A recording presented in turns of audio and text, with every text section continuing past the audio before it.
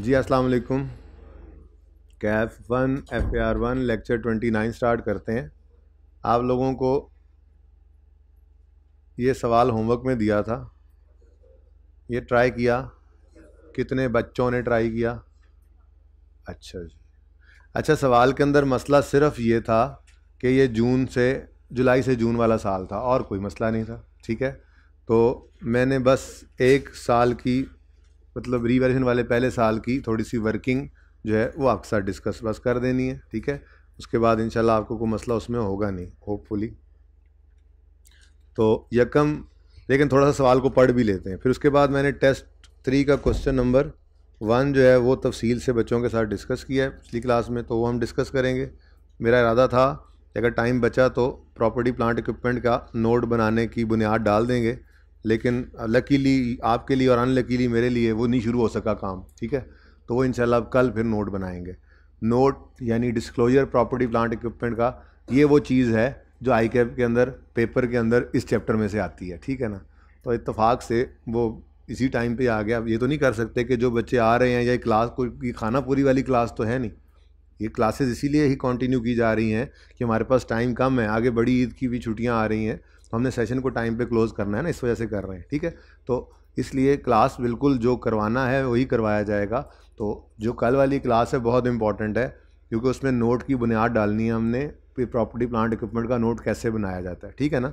और वो चीज़ है जो आई कैप में रेगुलरली टेस्ट भी हो रही है इस चैप्टर से, ठीक है? तो इसलिए जो बच्चे आएँगे, वो यहाँ पर, लाजमी जो आ रहे हैं यहाँ पर, जो है वो आएँगे और जो घर बैठे हुए हैं, वो भी आज का लेक्चर सुनते हुए ये जहन नशीन कर लें कि कल वाला लेक्चर भी टाइम से सुनना है, ध्यान से सुनना है और जो काम कहना है वो देखें, ये घर पे जाने वाले मारे जाएँगे अगर इन्होंने ये रोज़ का लेक्चर रोज़ ना लिया तो। जिस दिन रिकॉर्डिंग हो रही है, शाम को उसी दिन आप अपलोड करके आपको अवेलेबल किया जा रहा है। इसका मकसद यही है कि आप आप जब जुमे को तशरीफ़ लाएँ तो आप हफ़्ते तक के लेक्चर्स को सुन चुके हों, ठीक है?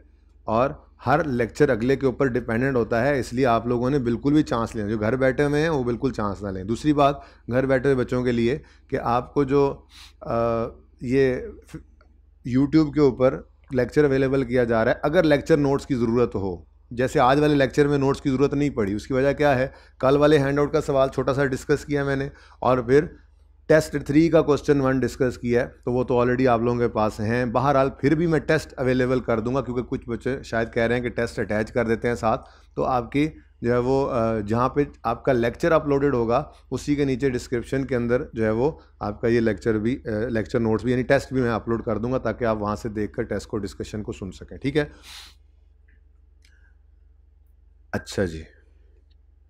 जी Shahzad textile mills limited purchase a plant for 500 million on यकम जुलाई 2010 अच्छा जी, the plant has an estimated useful life of 10 साल विद नो रेजिडुअल वैल्यू अगली लाइन जो है, ये ज़रा पहली बार हमने देखी सवाल के अंदर।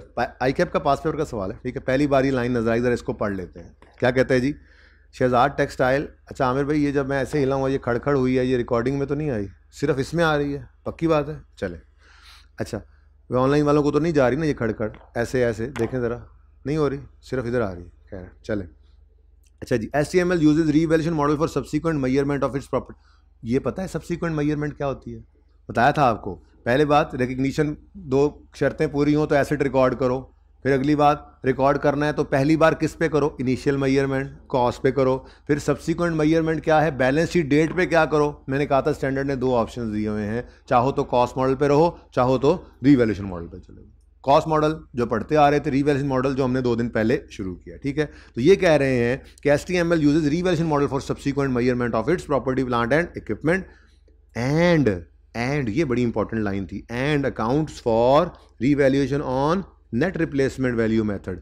कितने बच्चों ने इसके ऊपर गौर किया? हाथ खड़ा करें। घर पे जब सवाल किया था, कितनों ने गौर किया? ऐसे ही किया उन्होंने गौर। आप सबने बिल्कुल सही किया, इस पर गौर करने की ज़रूरत नहीं थी। क्यों?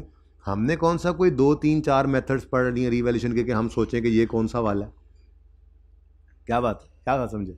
हमने कोई दो, तीन मेथड्स पढ़े हैं कि हम सोचें ये कौन सा वाला मेथड है? हमने तो अभी तक सिर्फ़ एक मेथड ही पढ़ा है। ज़ाहिर सी बात है, उसी मेथड का ही होगा ये सवाल जो होमवर्क में दिया हुआ है। ठीक है ना? तो नेट रिप्लेसमेंट वैल्यू मेथड ये वही मेथड है जिसमें हम डेप्रीस एक्यूमुलेटेड डेप्शन जिस दिन रिवेलेशन हो रही होती है, उस दिन तक की एक्यूमुलेशन को ट्रांसफ़र करते हैं एसेट अकाउंट में। इसको स्टैंडर्ड ने कहा हुआ है एलिमिनेट कर देते हैं एक्यूमुलेशन को। ख़त्म कर देते हैं ना नील कर देते हैं, ठीक है?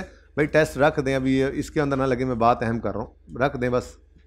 बाद में आगे बांट लीजिएगा, क्या हो गया है? रख दें। इधर मेरी तरफ़ ध्यान रखें। जी, मैं क्या कह रहा था? हाँ ये नेट रिप्लेसमेंट वैल्यू मेथड क्या है? कि आपके एकोमोडेशन को आप ट्रांसफ़र कर देते हैं एसेट अकाउंट में, यानी एलिमिनेट कर देते हैं। यही मेथड हमने पढ़ा है।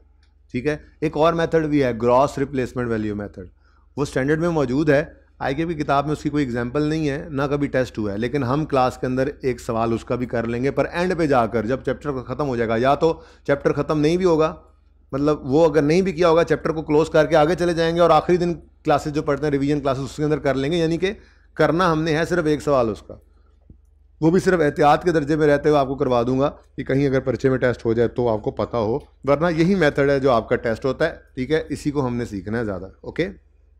अच्छा तो बहरहाल, नेट इस तरह से भी लिखा होता है सवालों के अंदर। अब आप देखेंगे ना, पास पेपर का सवाल लिखा होगा, ये रिवेशन मॉडल यूज़ करते हैं और जो है वो अकाउंट्स फॉर रिवेशन और नेट रिप्लेसमेंट वैल्यू मेथड और साथ ही ये भी लिख देते हैं वो। They transfer incremental depreciation each year incremental depreciation to retained earnings अब ये काम भी आप कर ही रहे होते हैं रिटेन अर्निंग्स को ट्रांसफ़र करने वाला इंक्रीमेंटल डेप्रिशन को ट्रांसफ़र करने वाला revalue surplus debit retained earnings credit entry कर रहे होते हो ना, वो भी लिख के बता देते हैं। इन बातों से परेशान नहीं होना। जो काम कर रहे हैं, वही यहाँ पर उन्होंने कहा। अच्छा। रीवैल्यूशन तीन हुई हैं और तीनों साल के पहले दिन हुई हैं। साल के पहले दिन मतलब देखें साल इस तरह से था। यकम जुलाई दस को साल शुरू होता है और तीस जून ग्यारह पर ये ये साल जो है वो ख़त्म हो रहा है, ठीक है? फिर यकम जुलाई ग्यारह को अगला साल शुरू होता है और तीस जून बारह। ये ज़रा डेट से परेशान हो जाते हैं और कुछ भी नहीं। क्योंकि ग्यारह क्लोजिंग और ग्यारह ही ओपनिंग बन रहा होता है, लेकिन ये देखो तीस जून और यकम जुलाई भी है, ठीक है ना? तो हमने ये वर्किंग इस तरह से कर ली। यकम जुलाई दस पे एसेट ख़रीदा पाँच सौ का, तीस जून ग्यारह पे एक साल डेप्रिशिएट होगा पचास रुपये बुक वैल्यू आ गई चार सौ पचास। अब अगला दिन, साल, अगले साल का पहला दिन है यकम जुलाई ग्यारह। उस दिन एक लाइन छोड़ के रीवैल्यूड अमाउंट लिखी तो सरप्लस आ गया 125 का, और फिर उसको डेप्रिशिएट किया हमने रिमेनिंग लाइफ पे और रिमेनिंग लाइफ निकाली हमने, यकम जुलाई ग्यारह पे खड़े होकर। ऐसे ही किया था। अब जल्दी से ज़रा इसकी एंट्रीज क्विकली हम देख लेते हैं। पहले साल की एंट्री पहली एंट्री जी। ऐसे डेबिट कैश क्रेडिट 500 से दूसरी entry depreciation expense debit accumulated depreciation credit 50 से। साल ओवर अगला साल आया। अगले साल के पहले ही दिन क्या हो रहा है? रीवैल्यूएशन हो रही है, ठीक है? तो रीवैल्यूएशन के दिन सबसे पहला काम ट्रांसफ़र की एंट्री है। वो ट्रांसफ़र की एंट्री आपको वर्किंग में नज़र नहीं आएगी, क्योंकि वर्किंग तो ऑलरेडी बुक वैल्यू शो कर रही है ना तो आप फिर इस एंट्री कैसे करते थे। Accumulated depreciation debit asset credit और कल आपको सिखाया भी था। रीवैल्यूएशन के ऊपर देखो, पहले कोई रीवैल्यूशन नहीं हुई तो फिर यकम जुलाई दस से यकम जुलाई ग्यारह के दरमियान जितनी डेप्शन है वो एक्यूमुलेटेड पड़ी होगी, उसको ट्रांसफ़र करना है तो वो एक ही नज़र आ रही है पचास रुपये तो पचास रुपये की एंट्री आपने वर्किंग में नहीं, आपको नज़र आएगी, आपने करनी ज़रूर है। एक्यूमुलेट डेप्शन डेबिट दिमाग में करेंगे। एक्यूमुलेशन डेबिट एसिड क्रेडिट हो गया ट्रांसफ़र उसके बाद सरप्लस है तो सरप्लस की एंट्री कर देंगे। लॉस है तो लॉस की। तो क्या आ रहा है? सरप्लस है। ये ये दूसरी एंट्री है। ये बारह वाले साल की, बारह वाला साल है। क्या बोला मैंने? ये क्या बात की मैंने? सॉरी हाँ ये बारह वाला साल क्यों बोला इसको भाई? देखें, शुरू ग्यारह में हुआ, ख़त्म बारह में हुआ। शुरू दस में हुआ, ख़त्म ग्यारह में हुआ। ये जो दस में शुरू होकर ग्यारह में ख़त्म होता है, इसको दस ग्यारह का साल भी कहते हैं, और टैक्स आप पढ़ रहे हैं, इसको ग्यारह वाला साल भी कह देते हैं, ख़ात्मे के एतबार से। जो यकम जुलाई ग्यारह ग्यारह में शुरू हुआ, बारह में ख़त्म हुआ, इसको ग्यारह बारह का साल भी कह सकते हैं, और इसको ख़ात्मे के एतबार से सिर्फ़ बारह वाला साल भी कह सकते हैं। तो अगर कभी सवाल में ऐसे बोल दिया जाए तो परेशान तो नहीं होंगे ना? टैक्स पढ़ रखा है आप लोगों ने। टैक्स के अंदर आपने ये चीज़ अब देख ली हुई है। टैक्स ईयर होता ही तीस जून है, ठीक है ना? अच्छा तो बारह वाले साल की पहली एंट्री नज़र नहीं आई। दूसरी एंट्री क्या की हमने? Asset debit revaluation surplus credit दोनों बढ़ रहे हैं। दोनों बढ़ रहे हैं। दूसरी एंट्री होगी। तीसरी entry depreciation expense debit accumulation credit asset कम हो रहा है। और चौथी एंट्री क्योंकि सरप्लस का बैलेंस नज़र आ रहा है तो इस साल के अंदर डेप्शन की दो एंट्री होनी है। तो दूसरी entry revaluation surplus debit retained earnings तो ये लाल वाली एंट्रीज 12 वाले साल की हैं। चार एंट्रीज करनी है। वर्किंग में तीन नज़र आई हैं। पहली एंट्री नज़र नहीं आई। ठीक है? ऐसे ही आपने कंटिन्यू किया होगा इसको। मैंने कहा था थोड़ा सा यकम जुलाई वाला सवाल है इसलिए डिस्कस कर दूँ इतना। ओ, ओके है ठीक चल। अच्छा अब वैसे तो मैंने ये प्लान आपको बता रहा हूँ कि ये किया हुआ था। आज उनतीसवां लेक्चर था कि मैं आपको नोट बनाना सिखाऊँगा प्रॉपर्टी प्लांट इक्विपमेंट का। जिसको फिक्स एसिड स्केजुअल भी कहते हैं। ठीक है? Fixed asset casual note disclosure ठीक है? और ये सबसे इंपॉर्टेंट चीज़ है इस टॉपिक की, कि यही तो आता है परिचय में। लेकिन ये आज शुरू नहीं करवा सका, क्योंकि मैंने ज़्यादा बेहतर समझा टेस्ट थ्री का क्वेश्चन वन डिस्कस करना। क्योंकि बच्चों ने टेस्ट कितने बच्चों ने अटैम्प्ट किया था टेस्ट अच्छा ये हाथ खड़े रखिएगा, हाथ खड़े रखिएगा। ज़रा हाथ नीचे करें। किस किस ने अटैम्प्ट नहीं किया? क्यों? हाथ खड़े रखो, दोनों हाथ ऊपर करवाऊँगा। जल्दी बोलो। बोल ही नहीं रहे हो तुम। जी, क्यों नहीं किया भाई? क्यों नहीं किया टेस्ट है अटैम्प्ट क्यों नहीं किया? आपने किया अटैम्प्ट बेटा? ये फीमेल स्टूडेंट आपने किया? हाँ। क्यों? आज के बाद टेस्ट हाँ टेस्ट वाले दिन अर्जेंट घर नहीं जाना पड़ना चाहिए ओके आइंदा से। अच्छा तो ये तीसरा भी देना था। अभी कल होमवर्क दिया था अटैम्प्ट किया था सवाल? चलें। बहरहाल टेस्ट के अंदर, अब ज़रा बताएँ टेस्ट कितने बच्चों ने अटैम्प्ट किया था? अटैम्प्ट किया था। और क्वेश्चन वन देख कर छोड़ दिया था। यानी क्वेश्चन वन पे कितनों ने ज़ोर आजमाई की थी? वो हाथ खड़ा करें। ये जितने बच्चों ने ज़ोर आजमाई वाले बच्चों ने हाथ खड़ा किया है ना, मैं अभी सवाल सॉल्व करता हूँ। मैं सात मार्किंग स्कीम भी लगाऊँगा। उनमें से बेशतर बच्चों का वो सवाल पास होगा। क्या मतलब? सोलह नंबर का सवाल था तो सात आठ नंबर उनको मिल जाने। लेकिन ये उनके लिए हैं जिन्होंने सवाल को देखा और हिम्मत करके उसको अटैम्प्ट किया। और जो सवाल देख के भाग गए भगोड़े बुजदिल, उनको कुछ नहीं मिलेगा। पर्चे में भी ऐसे ही होना। तो मेरे टेस्ट मुश्किल बनाने का मकसद सिर्फ़ और सिर्फ़ ये होता है कि आपको मुश्किल के लिए तैयार करना, मुश्किल से, मुश्किल सवाल के अंदर आपको 50 परसेंट मार्क्स लेने आने चाहिए। ठीक है? और इसकी आदत इंशाल्लाह दो को टेस्टों में आपको पड़ जाएगी। ठीक है? दो को दफ़ा फेल होंगे ना, तीसरी दफ़ा फिर आपको पता लग जाएगा। मेरा टेस्ट डिस्कशन जो होती है मेरी, जिस दिन टेस्ट होता है, उससे अगले दिन का पूरा लेक्चर उस पर लग जाता है। क्योंकि टेस्ट में टफ बनाता हूँ, इसीलिए बनाता हूँ कि आप लोग जो उसके ऊपर एफर्ट करके उसमें से पासिंग मार्क्स स्नैच करने वाले बन जाए। ठीक है? आई के अंदर सारे सवाल ऐसे नहीं होते। आई के अंदर आसान मुश्किल और बहुत मुश्किल होता है। हम बहुत मुश्किल की तैयारी कर लेते हैं। अब आई में आसान वाले पर नंबर आसान वाले सवाल जो हैं वो आपको हेल्प कर देते हैं। एवरेज वाले मुश्किल वाले भी आप अच्छे कर लेते हो टाइम और बहुत मुश्किल से भी आप पासिंग मार्क्स ले लेते हो तो आपकी पासिंग की प्रॉबिलिटी जो है वो काफ़ी बढ़ जाती है। ठीक है? चले तो सवाल आज वाला डिस्कस करते हैं। आ, कल वाले टेस्ट का। परसों टेस्ट हुआ बल्कि। ये। इसको मैं ज़रा पहले मिटा लूँ पिछली क्लास वाला। काम जो है सारा।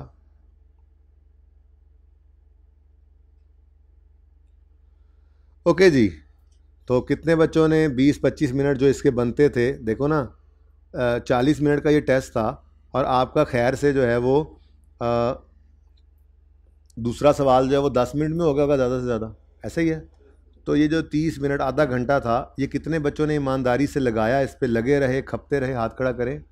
ये बच्चे देखिएगा रिज़ल्ट अपना देख लीजिएगा ये बच्चे इस सवाल के अंदर इंशाल्लाह पास होंगे। वो दूसरा सवाल बहुत खराब ख़राब कर रहे हैं और फेल हो जाएँ तो अलग बात है। वरना ये बच्चे पास हो जाएँगे, इंशाल्लाह। ठीक है? चलें, सवाल शुरू करते हैं जी।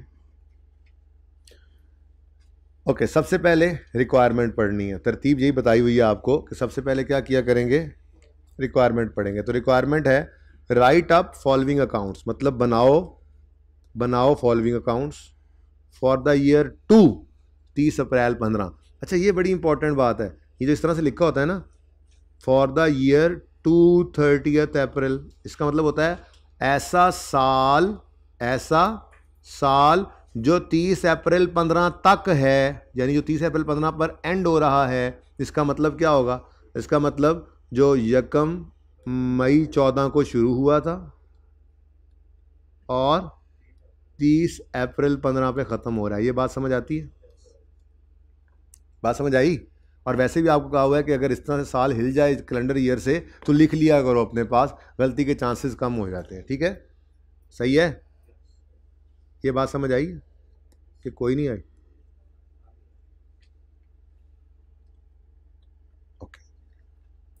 सही है? अच्छा तो ये बात बड़ी इंपॉर्टेंट आगे एक रूल का टॉपिक्स करेंगे, उसमें भी ये बहुत हेल्प करेगी। इस तरह से जब लिखा होता है ना फॉर द ईयर टू तीस अप्रैल तो मतलब वो साल जो तीस अप्रैल तक है यानी जो तीस अप्रैल पर ख़त्म हो रहा है, ऐसे कभी लिखा हो सिक्स मंथ टू फलां डेट या सिक्स मंथ एंडिंग फलां डेट उसका मतलब होता है कि वो छः महीने जो इस दिन पे एंड हो रहे हैं, इस तरह से लिखा होता है अकाउंटिंग के अंदर। तो समझ आ गई ये बात? अच्छा अकाउंट्स बनाने हैं जी कौन कौन से? लॉरीज अकाउंट मतलब एसेट लॉरीज व्हीकल ठीक है? यानी एसेट का अकाउंट बनाना है और एक्यूमुलेटेड डेप्रीसिएशन का अकाउंट बनाना है। यानी एसेट अकाउंट किस पे बन रहा होगा फिर? एट कॉस्ट ठीक है? और अक्यूमुलेटेड डेप्शन अलग है और फिर साथ में अगर डिस्पोजल्स हैं तो डिस्पोजल का अकाउंट भी बनाना है हमने। ये काम के आपको कोई ग्यारह और चौदह, साढ़े चौदह नंबर इसके थे। और डेट नंबर किसका था? Show how lorries account and accumulative account would be presented in C T L statement of financial position as at तीस अप्रैल दो हज़ार। हाँ जी, ये क्या कह रहा है? ये क्या कह रहा है? क्या बना दो? बैलेंस शीट के एक्सट्रैक्ट्स बना दो। इनकम स्टेटमेंट के नहीं मांगे उसने, सिर्फ़ किसके एक्सट्रैक्ट्स मांगे? हाँ कि कैसे ये एसिड्स और एक्यूमिडेशन जो है वो नज़र आएँगे किसमें स्टेटमेंट ऑफ़ फाइनेंशियल पोजीशन के अंदर। तो बेसिकली ये कह रहा है सवाल में कि बैलेंस शीट के एक्सट्रैक्ट्स बना दो। कितने बच्चों ने एक्सट्रैक्ट्स बनाए थे? कितने भूल गए थे? पहले देखा था एक्सट्रैक्ट्स बनाने, लेकिन एंड होते होते भूल गए थे। अच्छा चलो। शुरू करें जी फिर। तो हमारी रिक्वायरमेंट है एसेट अकाउंट बनाना है और अक्यूमुलेटेड डेप्शन अकाउंट बनाना है, ठीक है? सवाल के अंदर आते हैं तो वो कहता है, चिंटू ट्रांसलाइन एक छोटी सी गलती मुझसे रह गई थी जी। असल में ना, ये आई कैप के क्वेश्चन बैंक का सवाल है। असल नाम इसका चिन्यो ट्रकिंग था, और ये एसेट्स के नाम थे BAO one KAO one DAO one FAO one इस तरह से। तो मैंने थोड़ा सा उनको बदल दिया था सिर्फ़ नामों को, ठीक है? नाम इसका कर दिया था चिंटू ट्रांसलाइंस और नीचे एसेट्स के नाम बस बदल दिए थे। ये सवाल आई कैप की क्वेश्चन बैंक का सवाल है। आई की किताब के अंदर से ये सवाल उठाया हुआ ठीक है? अच्छा इसमें मुझसे गलती क्या एक रह गई थी? ये मैंने जो यहाँ पर ना, एडजस्टमेंट नंबर सी के अंदर ये मैं चिन, चिन्यो ट्रकिंग ही लिखा रह गया था। इसको बेसिकली मैं करना भूल गया था चिंट्यू ट्रांस लाइन्स ओके? सही है? अच्छा तो ये सही कर लेंगे आप अपने अपने टेस्ट पर। चिंटू ट्रांस लाइन्स अच्छा ट्रांस आ गया। फिर मिटा देते हैं और दोबारा लिखते हैं। ठीक है जी, ये ज़रा मुझसे, माजरत मेरी तरफ़ से। Chintu, trans lines okay? अच्छा ये कोई इतनी इंपॉर्टेंट बात नहीं थी अब असल बात की तरफ़ आते हैं। क्या कहता है जी? सवाल में कहता है, यकम मई चौदह। देखो, इधर भी लिख लेते हैं, नीचे भी लिख लिया मैंने ताकि जहाँ पे मौजूद हों, ये साल हमारे पास लिखा हुआ मौजूद रहे। हमारा साल है, इस सवाल के अंदर, हमारा साल है यकम मई, यहाँ पे करके लिखते हैं, यकम मई 2014 पे शुरू हो रहा और 30 अप्रैल 15 पर ख़त्म हो रहा है, ठीक है? अच्छा अब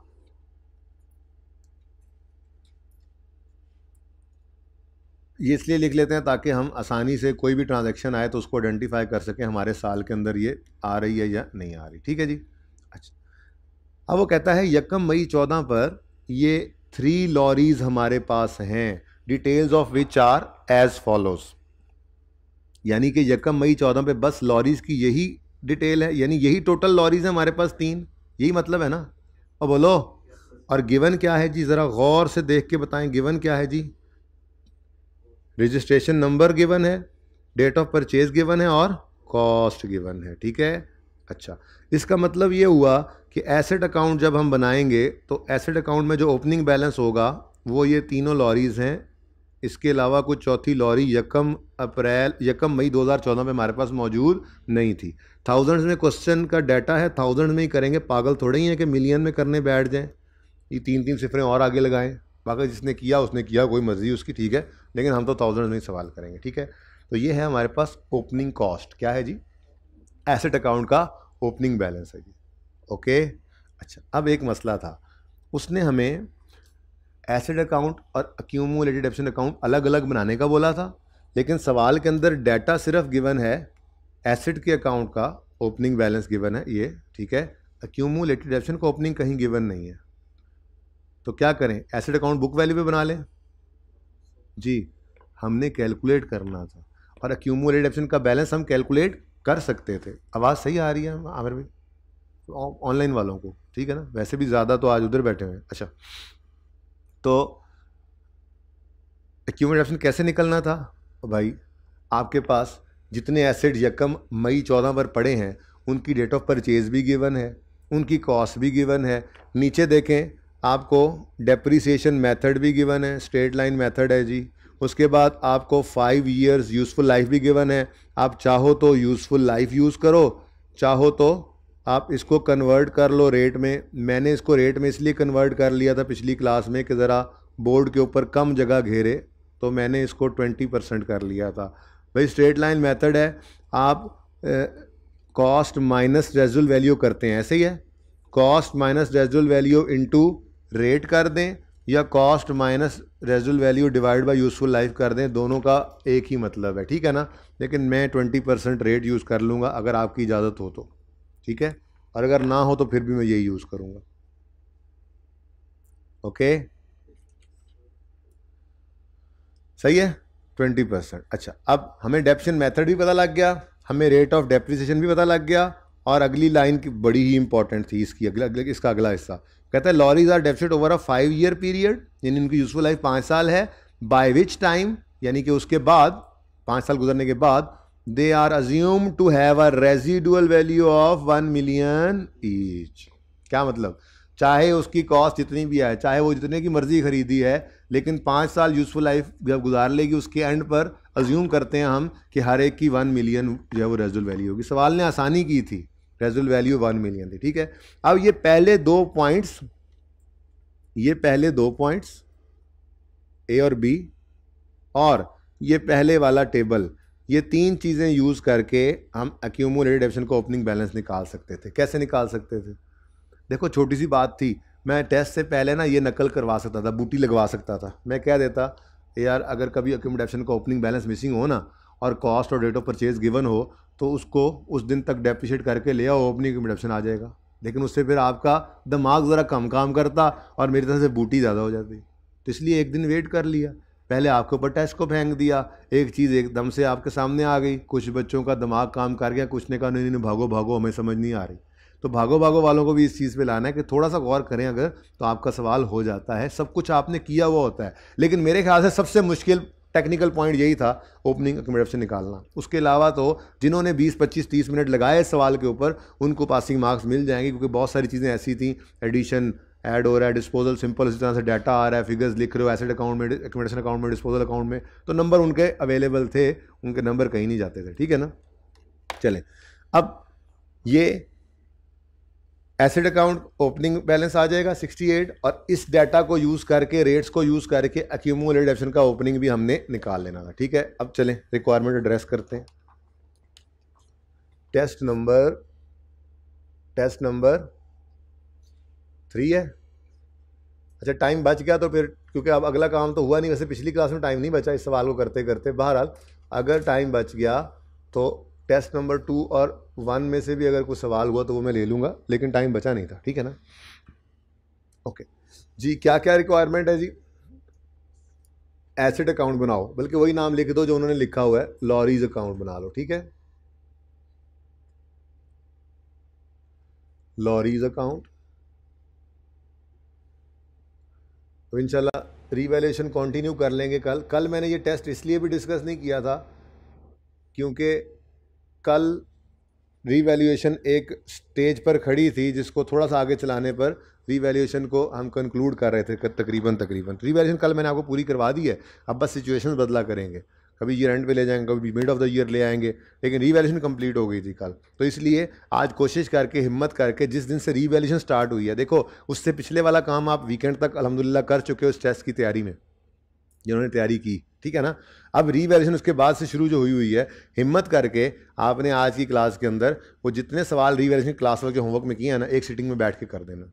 क्योंकि ये टेस्ट वाला सवाल तो मैंने ईची बीची आज करवा के भेजनी है, आपको शायद करने की ज़रूरत भी ना पड़े इसको।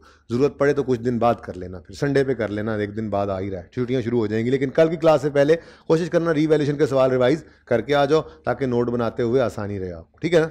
अच्छा तो लॉरीज का अकाउंट बनाएँगे हम, और रुपीज़ इन थाउजेंड्स लेंगे, ये लिख लो ऊपर ताकि नंबर ना कट जाए, अड़तालीस नंबर ना आ जाए। अच्छा।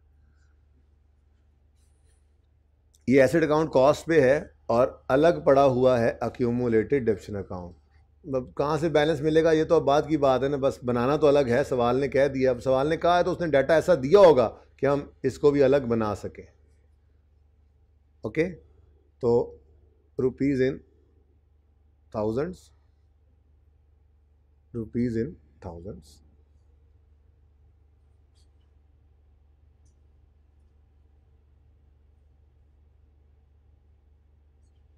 ठीक है जी? चलो, शुरू करें सवाल। ओपनिंग डेट भाई, मैं इस तरफ़ जा रहा हूँ, फिर भी आवाज़ सही है आमिर भाई? कोई चेंज तो नहीं आया रिकॉर्डिंग की आवाज़ में? अच्छा जी ओपनिंग डेट है यकम मई 2014 यकम मई 2014 पर एसेट अकाउंट का ओपनिंग बैलेंस कितना है? तो यकम मई 2014 ब्रॉड डाउन है सिक्सटी एट थाउज़ेंड। ठीक है? यकम मई 2014 पर अक्यूमुलेटेड डेफिन का ब्रॉड डाउन नहीं पता। ये निकालना अब इधर देखो ज़रा, सबकी तवज्जो। साथ साथ नोट क्या करना है एंड पे तस्वीर ले लेना, क्या हो गया? समझना ज़रूरी है इस वक्त। स्ट्रेट लाइन मेथड है। रिड्यूसिंग बैलेंस भी हो तो परवाह नहीं थी, लेकिन चलो स्ट्रेट लाइन मेथड है। तो ये बहादुर वन की डेट ऑफ़ परचेज है और सोलह हज़ार उसकी कॉस्ट है। आप डेट ऑफ़ परचेज यानी यकम जुलाई ग्यारह से इसको डेप्रिशिएट करना शुरू करो और यकम मई चौदह तक इसको डेप्रिशिएट करके ले आओ। तो जितने साल की डेप्शन होगी, वो यकम मई चौदह पर इसकी अक्यूमुलेट डेप्शन होगी। बोलो। यही होगी ना। बहादुर वन को हमने खरीदा यकम जुलाई ग्यारह को। यकम जुलाई ग्यारह से यकम मई चौदह तक की इसकी अक्यूमुलेटेड डेप्शन जो है, वो हमारा ओपनिंग बैलेंस होगा। बोलो, लेकिन एक एसिड का। ऐसे ही हम दूसरे की भी और तीसरे की भी अकोमोडेशन निकाल लेते हैं, ठीक है? इतना सा पॉइंट था। कितने बच्चों को ये समझ आ गया था वैसे ऐसे करना है? माशाल्लाह, काफ़ी ज़बरदस्त है हालात बहरहाल। वर्किंग वन करते हैं जी हम। मैं निकालने लगा हूँ। एक्यूमुलेटेड डेप्रीसिएशन एज ऑन जकम मई 2014 या इसको हम 30 अप्रैल 2014 भी कह सकते हैं। ऐसा ही है? चलो, अब हमारे पास जनाब तीन एसिड्स हैं, तीनों को अलग अलग ले लेते हैं सबसे पहले है बहादुर वन, बी वन लिख दूँ इसको? बोलो। अब स्ट्रेट लाइन मेथड है तो डिटेल्ड वर्किंग नहीं है। यही रिड्यूसिंग बैलेंस मेथड होता तो हर एसिड को अलग अलग वर्किंग करके कम्पडेशन निकालनी पड़ती डिटेल्ड वर्किंग लेकिन ये तो है स्ट्रेट लाइन मेथड तो एक साल की डेप्शन निकालो, उसको जितनी लाइफ गुजर गई डेट ऑफ़ परचेज से डेट ऑफ़ सेल तक नहीं डेट ऑफ़ परचेज से साल के पहले दिन, यानी यकम मई चौदह तक, जितनी लाइफ गुजर गई उससे मल्टीप्लाई करो अकोमोडेशन आ जाएगी उसकी। इसी तरह से तीनों के साथ कर लेते हैं, ठीक है? तो पहले बहादुर वन की बात करें तो कॉस्ट कितनी है बहादुर वन की? सोलह हज़ार कॉस्ट है। और residual value minus one thousand करनी थी। कितने बच्चे ये भूल गए? रेजुअल वैल्यू भूल गए। कोई नहीं भूला था। यार, ऐसे तो नहीं हो सकता। पिछली दफ़ा तक का तजर्बा तो मुझे ये कहता था कि ये बच्चे काफ़ी भूलते थे। बहरहाल cost minus residual value straight line method है। ओवर फाइव कर दें या इंटू ट्वेंटी परसेंट कर दें। ये आ गई हमारी एक साल की डेप्रीसिएशन ठीक हो गया जी। अब हमें इसको डेट ऑफ़ परचेज से डेट ऑफ़ परचेज ये कौन है जी? ऐसे ऐसे ऐसे ना एक हेडिंग बना लेते हैं। डेट ऑफ़ परचेज और तीस डेट ऑफ़ सेल नहीं। तीस अप्रैल चौदह। जिसका मतलब यकम मई चौदह भी है, ठीक है? अब वन बाय वन करते जाते हैं हम ऐसे। सबसे पहले बहादुर वन ने किस दिन ख़रीदा था? यकम जुलाई ग्यारह को। और ये तीस अप्रैल तक लाना है। अब तीस अप्रैल ईयर एंड है ना तो यकम जुलाई ग्यारह को जो एसेट आया, ये वाला ग्यारह वाला अप्रैल तो गुजर गया ना, पहला ईयर एंड इसका आएगा, तीस अप्रैल बारह पे तो जुलाई ग्यारह से शुरू करो, जुलाई, अगस्त, सितंबर, अक्टूबर, नवंबर, दिसंबर, जनवरी, फरवरी, मार्च, अप्रैल। कितने महीने? दस बटा बारह, तीस अप्रैल बारह तक चला, फिर तीस अप्रैल तेरह तक पूरा साल, तीस अप्रैल चौदह तक पूरा साल, बोलो two point two point eight three years ठीक हो गया जी? फिर टू पॉइंट एट थ्री से इसको मल्टीप्लाई करो आंसर बताओ। एट फोर इतना आहिस्ता बोलना कि मुझे पहली बार में समझ ना आ जाए कहीं। एट नाइन ज़ीरो बाकी सारे क्या करने आए हुए हैं यहाँ पे? कैलकुलेटर्स निकाल के बैठे। कैलकुलेटर कैलकुलेट करें। कौन आंसर कौन कर रहा था? हाँ एक वो मुलाजिम आंसर कैलकुलेट कर रहा है, अरे एक ये मुलाजिम यहाँ खड़े होकर लिख रहा है। बाकी सब मेहमाना ने ग्रामी बैठे हुए हैं इंजॉय कर रहे हैं क्लास को। जी, सही है? एट फोर नाइन ज़ीरो ऊपर रुपीज़ इन थाउज़ेंड लिखने की ज़रूरत नहीं है, बस लिख दिया रिक्वायरमेंट में, यहाँ से उठ के उधर ही जाना है उसने लिखा हुआ। आगे चलें। नेक्स्ट है जी। क्रॉस टू किस दिन खरीदा? यकम फरवरी तेरह पर, लाना इसको भी तीस अप्रैल तक है तो यकम फरवरी तेरह वाला तीस अप्रैल, तेरह में पहला ईयर एंड होगा फरवरी, मार्च, अप्रैल, तीन बटा बारह, फिर तीस अप्रैल, चौदह तक, एक साल, one point two five years ठीक है? तो अच्छा ये two point eight three three था, बोलो, इसको two point eight three three करो ज़रा। हाँ? देखो, जिसने एट फोर नाइन ज़ीरो निकाला, वो भी बिल्कुल सही है। जिसने एट थ्री थ्री करके एटी फाइव हंड्रेड निकाला, वो भी बिल्कुल ठीक है। मैं इसलिए कह रहा हूँ कि सोल्यूशन के अंदर ना मैंने इतना तक निकाला हुआ था। तो इसलिए परेशान ना हो जाएँ आप। जब सोल्यूशन आपको स्टैंडर्ड सोल्यूशन देखें, आप कहें, जी, ये क्या एट फोर नाइन ज़ीरो है और उसे एट फाइव हंड्रेड है? दोनों सही हैं। दोनों बिल्कुल सही हैं। एक नंबर नहीं कट सकता इसके ऊपर, क्योंकि नंबर आपको मिलते हैं इसके। जिसने 2.8 लिखा, उसको भी मिले। जिसने 2.83 लिखा, उसको भी मिले। जिसने 2.833 लिखा, उसको भी मिले। ये बस मैंने आपको ऐसे कहा हुआ है कि आप जो है ना दो डेसिमल तक यूज़ कर लिया करें। तो जिसने दो डेसिमल तक यूज़ किया, उसका आंसर बिल्कुल ठीक है ओके मैं तीन सिर्फ़ इसलिए यूज़ कर गया हूँ कि ज़रा सवाल के साथ जो है ना, वो मैच हो जाए, आपका स्टैंडर्ड सोल्यूशन है उसके साथ। और कोई फ़र्क नहीं है। तो बार बार कह रहा हूँ मैं, कोई फ़र्क नहीं है okay eight four nine zero is equally correct okay जी। उसके बाद सी टू आ गया जी सी टू सी टू कितनी है कॉस्ट इसकी? कॉस्ट कितनी है क्रॉस टू की? इक्कीस हज़ार? इक्कीस हज़ार कॉस्ट रेजल वैल्यू तो सबकी एक हज़ार है। ज़िंदगी आसान थी, ठीक है? यहीं पे वो ऐसी लाइन लिख देता। सोच रहा हूँ अगली बार टेस्ट में ऐसी लाइन कर दूँगा, इसी सवाल के अंदर मिसाल अगर देता हूँ तो कि मैं यूँ लिख दूँगा residual value is ten percent of cost for each asset ताकि हर एक की बदले। मज़ा आए, ठीक है? सोलह हज़ार वाले की रेजल वैल्यू सोलह सौ हो, इक्कीस हज़ार वाले की इक्कीस सौ हो, इकतीस हज़ार वाले की इकतीस सौ हो। थोड़ा चेंज तो हो, ठीक है ना? लेकिन ये तो सवाल ही इतना आसान था। जिस मर्ज़ी कॉस्ट वाला एसेट है, पाँच साल बाद उसने एक हज़ार का बिकना है। इतनी ज़िंदगी आसान थी यहाँ पे सवाल के अंदर। जी, इक्कीस हज़ार। कॉस्ट आ गई माइनस एक हज़ार। रेजुअल वैल्यू आ गई इंटू बीस परसेंट रेप्शन रेट आ गया into one point two five years जी फाइव थाउज़ेंड आ गया। तीसरा है जी ड्रीम थ्री यकम अप्रैल चौदह को खरीदा? इकतीस हज़ार का। ड्रीम थ्री कितना का जी इकतीस हज़ार? बोलो। कॉस्ट माइनस एक हज़ार, residual value into twenty percent rate into D three किस दिन खरीदा भाई इसको? सुबहान अल्लाह बोलो सुबहान अल्लाह क्यों? इधर यकम अप्रैल तेरह इधर यकम अप्रैल? तो यकम अप्रैल चौदह है ये? और इधर तीस अप्रैल चौदह है। ये देखो, यकम अप्रैल चौदह है और तीस अप्रैल चौदह कितने महीने? एक महीना one over one over twelve answer कितना आसान था। पॉइंट ज़ीरो एट थ्री चलो पॉइंट ज़ीरो एट थ्री ये सब ईयर्स हैं यहाँ पर मैंने मल्टीप्लाई किया हुआ, ठीक है ना? Years four four nine, eight zero grand total बता दो। फाइव हंड्रेड फाइव हंड्रेड ही लिख दें, सर कह रहे हैं फाइव हंड्रेड ही लिख दें। वो सही है फाइव हंड्रेड कर दो राउंड कर दो, ठीक है ना? फिगर अमाउंट को तो राउंड करना मसला ही, कोई ना, फटाफट कर दिया करो। रेट्स वगैरह पे थोड़ी एहतियात किया करो, ठीक है ना? रेट्स को डेसिमल के बाद दो तक डिजिट तक ले लिया करो, जी। Forty fourteen thousand.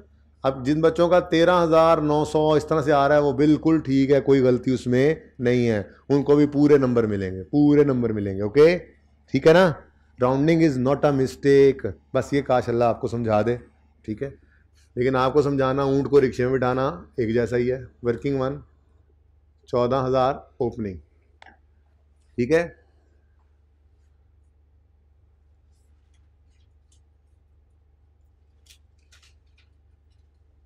चलो जी। सही हो गया जी। इस के नंबर्स अब देखिएगा। Point five point five point five ठीक हो गया? ये डेढ़ नंबर इधर आ गए। फिर इस टोटल को इधर पोस्ट करना एक कॉन्सेप्ट है पॉइंट फाइव इधर आ गया। यानी इतने से काम के दो नंबर हैं टोटल में। और परेशान ना हो। ये भी पॉइंट फाइव ले चुके हैं आप। उस सवाल से आपने उठा के यहाँ ओपनिंग लिखा। ये काउंटिंग है बेटा। तो डरने वाले नहीं चलते यहाँ पे, दिलेर लोग ही चलते हैं। जो सवाल देखते हैं, उन्हें पता है कि हमने इसमें से पासिंग मार्क्स ले लेने हैं, क्योंकि हमने टॉपिक पढ़ा हुआ है। उसके अंदर चीज़ें पड़ी होती हैं। सवाल का हुजम देख के, अंग्रेज़ी देख के, जिनकी हवा निकल जाती है ना, वो फिर अपना डिसीज़न बदल लें। या दलेर हो जाए या डिसीज़न बदल लें। दलेरी इतनी सी चाहिए कि सवाल सामने है, वो करना है उसको हमने। ठीक है ना? जो समझ में आए कर दो। देखो, बात तो थोड़ी सख्त कर रहा हूँ, लेकिन फेल ही होना है तो कुछ करके फेल हो जाओ। क्या मतलब? नेगेटिव मार्किंग तो है नहीं। तो मैक्सिमम क्या होगा? गलत हो जाएगा। और एक बात बता दूँ, कुछ करोगे तो फेल नहीं होने लगे इंशाल्लाह। क्योंकि आपने पढ़ा होता है क्लासेस पढ़ी होती हैं टेस्ट दिए होते हैं, तैयारी की होती है। सवाल में जो चीज़ पढ़ी हुई है काफ़ी हद तक आपको वो आती है। अंग्रेज़ी वैसे जैसे कर ले अप्रोच वैसे जैसे बदल ले। तो अनसीन सवाल आते हैं। इसलिए आपके टेस्ट इस तरह के हुआ करेंगे जो आपको तैयार करते रहेंगे साथ साथ ओके ठीक है ना? तो हिम्मत, आज देखोगे इस सवाल के अंदर, आप देखोगे आपको मैक्सिमम मार्क्स पासिंग मिल रहे हैं। अच्छा अब एक मज़े की बात और भी सुन लो। ये आपको कॉन्फिडेंस देने के लिए सिर्फ़ टेस्ट की डिस्कशन इस तरह से होती है मेरी। पहले एक दो तो ज़्यादा डिटेल होती है, उसके बाद सवाल तो डिटेल्ड होता है। मार्किंग के ऊपर इतनी डिस्कशन मैं नहीं करता। स्टार्ट में इसलिए कर लेता हूँ कि आप देखो इस तरह से मार्क्स लेने आपने टेस्ट में, ताकि अगली बार सारे पासिंग मार्क्स लें। अभी देखो ज़रा। आपने ये फिगर गलत निकाली, ये फिगर सही निकाली, ये फिगर गलत निकाली। पॉइंट फाइव मार्क मिल गया, एक कट गया। अब टोटल आंसर गलत आ गया। ये गलत आंसर भी इधर गलत लिखोगे तो क्योंकि पोस्ट किया है कॉन्सेप्ट को सही, ये पॉइंट फाइव बिल भी मिलेगा। इसको कहते हैं अकाउंटिंग में गलती पे गलती के नंबर नहीं कटते। बात समझे हो? यानी आपकी ये फिगर गलत आई, आपकी ये फिगर गलत आई, आपको पॉइंट फाइव मार्क्स मिल गए। अब जब ये दो फिगर्स गलत हैं तो टोटल तो गलत हो गया ना। अब ये गलत टोटल को उठा के यहाँ लिखना, ये कॉन्सेप्ट है कि एक्यूमिटेशन का ओपनिंग जब क्रेडिट साइड पे आता है ब्रॉड डाउन ठीक है? तो ये लिखने के पॉइंट फाइव मार्क्स फिर भी मिलेंगे। यानी कि दो डेप्शन गलत हो गई, फिर भी इसमें आपके दो में से एक नंबर आपको मिल गया है। इसको कहते हैं काउंटिंग में गलती पे गलती के नंबर नहीं कटते। तो इसलिए कोशिश करोगे ना आइंदा? जैसा मर्ज़ी सवाल हो, कोशिश करोगे ना जितना टाइम गिवन है। पूरी ईमानदारी से ये दिन के ऊपर सवार किया करो कि टेस्ट नहीं है आई का परिचय और मैंने इसके अंदर पासिंग मार्क्स लेने हैं। ये प्रैक्टिस दो से तीन टेस्टों में करोगे, इंशाल्लाह पासिंग मार्क्स आपके मुश्किल से मुश्किल टेस्ट में भी आने लग जाएँगे। और नहीं करोगे तो फिर आई में बैठे होगे रो रहे अच्छा। चले जी। ले भाई ओपनिंग बैलेंस आ गया, ठीक है। अब आगे तो सवाल बहुत ही सिंपल है। है कि नहीं simple? Ji. See, Bahadur one was sold on इकतीस जुलाई 2014 फॉर तीन million on cash terms on यकम अगस्त चौदह, Chintu Translines replaced it with a new lorry flying four for which पैंतीस million was paid in cash मुझे बताओ, ये एक्सचेंज की ट्रांजेक्शन है ना? ये एक्सचेंज है? आपकी क्लास के अंदर मैंने एक्सचेंज वर्सेस रिप्लेस की थोड़ी सी डिस्कशन की थी। बड़ी इंपॉर्टेंट बात है ये, ठीक है? आप उसी दिन, ये तो दिन भी बदल गया था। आपकी आपकी सहूलत के लिए आके अपने दिन बदला हुआ है, एक अगले दिन पे रखा हुआ है। मैं कहता हूँ, उसी दिन भी हो, वो दुकान भी वही हो, ठीक है? पुराना एसेट बेचकर कैश जेब में आपने डाल लिया, नया एसेट खरीदा और सारा कैश पे किया तो ये एक्सचेंज नहीं है, ये रिप्लेस है। पुराने का एडिशन पुराने का पुराने का डिस्पोजल अलग रिकॉर्ड होगा, नए का एडिशन अलग रिकॉर्ड होगा। तो एक्सचेंज की ट्रांजैक्शन की ज़रूरी निशानी क्या है? कि आप पुराना एसिड, नया एसिड खरीदते हो, बदले में पुराना एसिड देते हो। जिस वजह से नए की कीमत कुछ कम हो जाती है, क्योंकि पुराने वाले एसेट को कोई ना कोई वैल्यू असाइन करता है दुकानदार, जिसको हमने ट्रेड इन अलाउंस कहा था। तो एक्सचेंज की ट्रांजैक्शन की ज़रूरी निशानी है ट्रेड इन अलाउंस जिससे एक्सचेंज अलाउंस भी कहा जाता है। ठीक है? ये लिखवाया था, बात भी हुई थी। तो भाई, ये बहादुर वन बिका है और फ्लाइंग फोर आया है। फ्लाइंग फोर अलग से एडिशन और बहादुर वन अलग से डिस्पोजल ठीक है? तो आ, पहले आसान नंबर ले लेते हैं। फ्लाइंग फोर पैंतीस हज़ार पैंतीस मिलियन का मतलब पैंतीस पैंतीस मिलियन मिलियन का मतलब पता पता क्या होता है? ये कायदा आई सैकड़ा हज़ार दस हज़ार लाख दस लाख। बात समझ रहे हो ना? नहीं समझ आई? पैंतीस लाख पैंतीस सॉरी पैंतीस मिलियन ये तीन करोड़ पचास लाख को कहते हैं, ठीक है ना? पैंतीस मिलियन जिसके आगे छः सिफरें हैं। हमने तीन सिफरें कॉमन ली हुई हैं। जहाँ जहाँ मिलियन आएगा, आपने हज़ार में इस तरह से लिखना है, ठीक है ना? तो सही है, ठीक है? सवाल के अंदर डाटा बड़ा खूबसूरती से परेशान करने के लिए ऐसे दिया गया था कि ऊपर थाउजेंड्स में, नीचे मिलियन में कोई एक तरफ़ जा सकते थे। थाउज़ेंड ज़्यादा बेहतर मैंने, मुझे इसलिए लगा कि बहुत ज़्यादा पॉइंट्स के अंदर जाने की ज़रूरत नहीं पड़ेगी, इसलिए थाउज़ेंड में कर दिया। आप मिलियन में भी कर सकते थे, ठीक है? लेकिन फाइनल अकाउंट का सवाल तो अब है नहीं इस तरह से, लेकिन आगे कुछ हैं टॉपिक्स जिनके अंदर ट्रायल वगैरह जिस तरह से डिटेल आएगी, जिससे सवाल करना है तो मेरा मशवरा जिस तरह से ये स्टार्टिंग डाटा दिया हुआ करेगा ना ट्रायल वगैरह में या फाइनेंशियल स्टेटमेंट्स में, जो रुपीज़ उसके अंदर इस्तेमाल करेगा थाउज़ेंड में तो आप भी थाउज़ेंड में कर दें मिलियन में करें तो आप भी मिलियन में कर दें, ठीक है ना?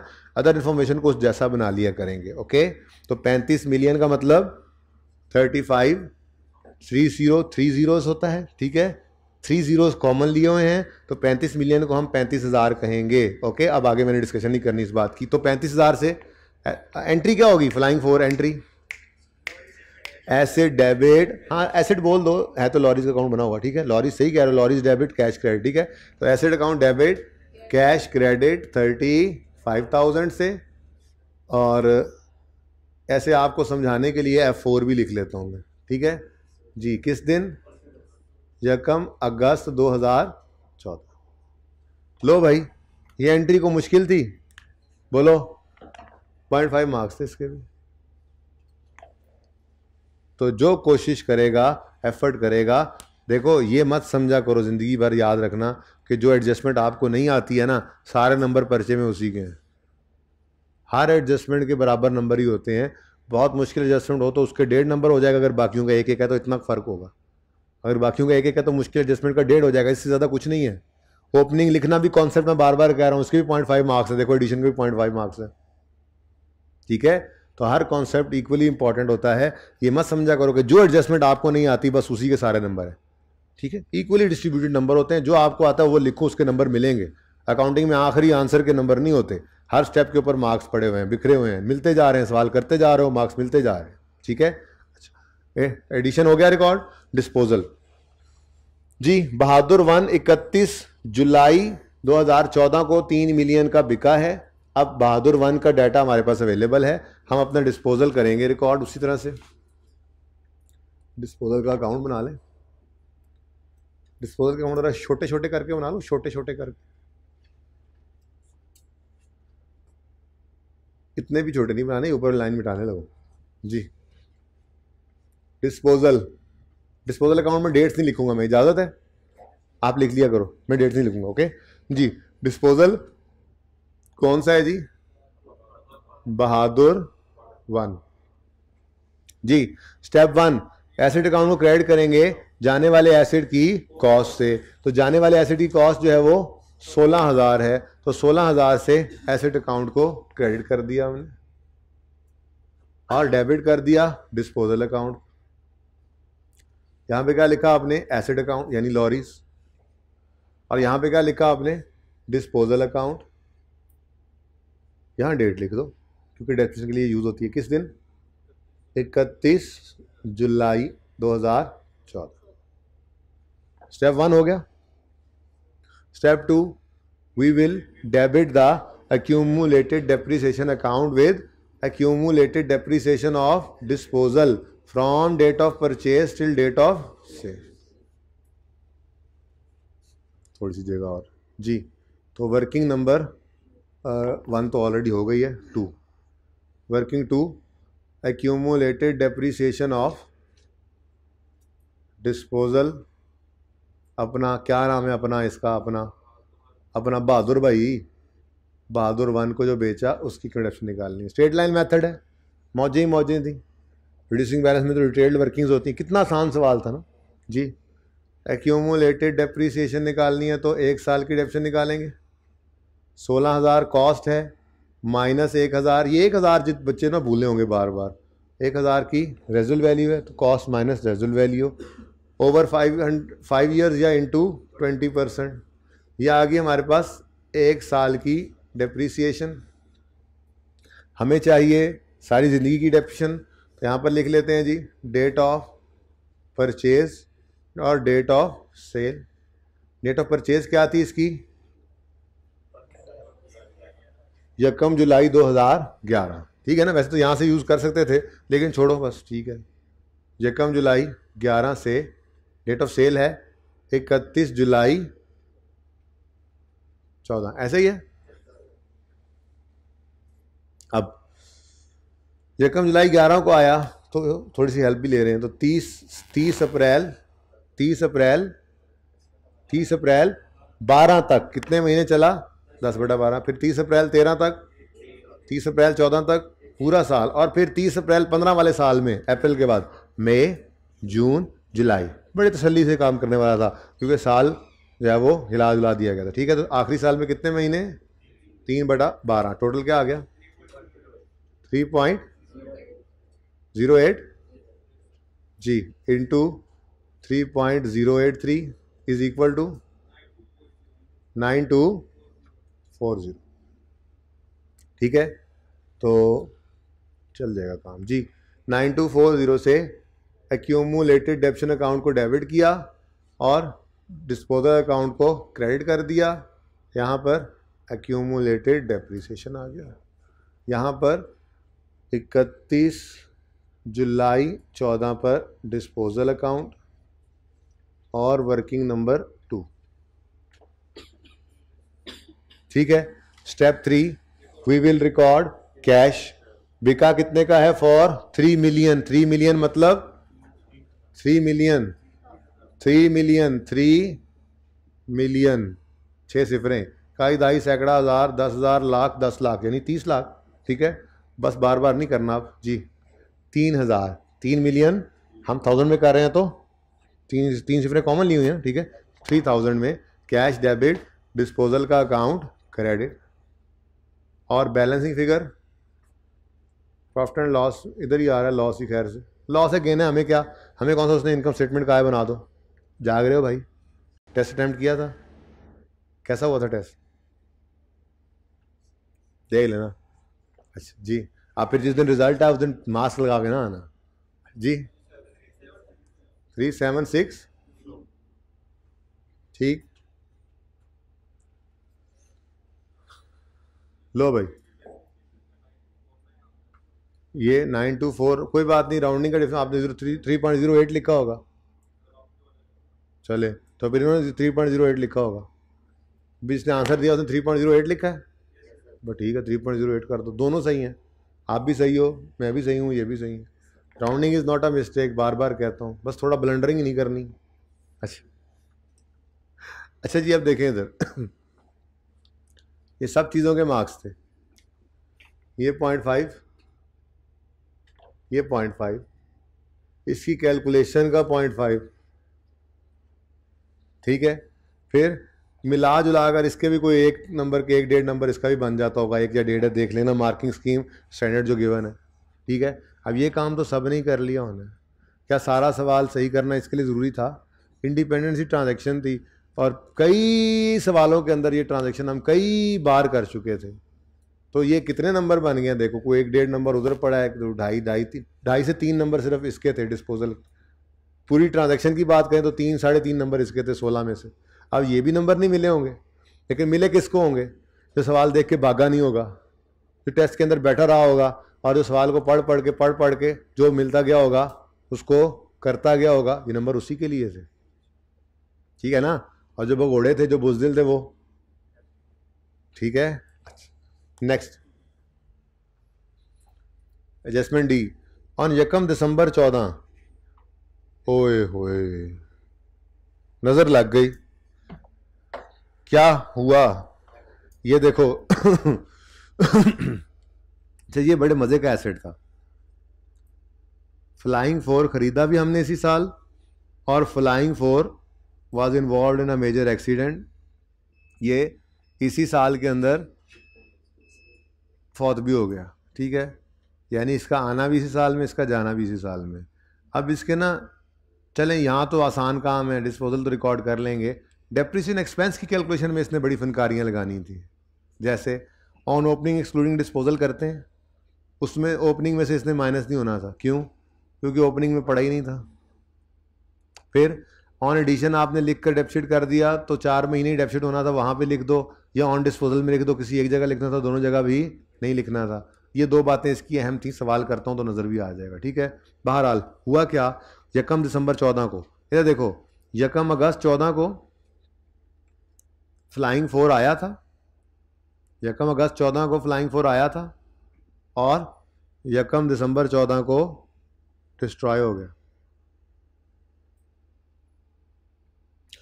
अगस्त, सितंबर, अक्टूबर, नवंबर, दिसंबर नहीं ले लेना, ठीक है? सिर्फ़ चार महीने हमारे पास रहा, ठीक है? अच्छा। अब मैंने आपको ये कहा था कि चलो ज़रा एंट्रीज कर लेते हैं, फिर सवाल की तरफ़ भी चले जाएँगे। एंट्रीज यहाँ पे कर लेते हैं, ठीक है ना? मैंने आपको कहा था, अगर कोई एसिड एबनॉर्मल एबनॉर्मली डिस्पोज हो तो एक एडिशनल चीज़ क्या आ सकती है? इंश्योरेंस कंपनी का आ जाना, ठीक है? तो हमने क्या जर्नल एंट्री सीखी थी, अगर आपको कुछ याद हो तो? हमने कहा था जी एंट्री वही रहती है एक्यूमुलेटेड डेप्रीसिएशन डेबिट होता है। कैश अगर इंश्योरेंस वाले दे दें तो वो डेबिट होता है। अगर ना दें तो इंश्योरेंस क्लेम रिसीवेबल अगर वो कह दें कि हम दे देंगे पैसे, दिए नहीं हैं, दे देंगे तो इंश्योरेंस क्लेम रिसीवेबल डेबिट होता है। और एसिड लॉरीज कह देते हैं लॉरीज अकाउंट क्रेडिट होने।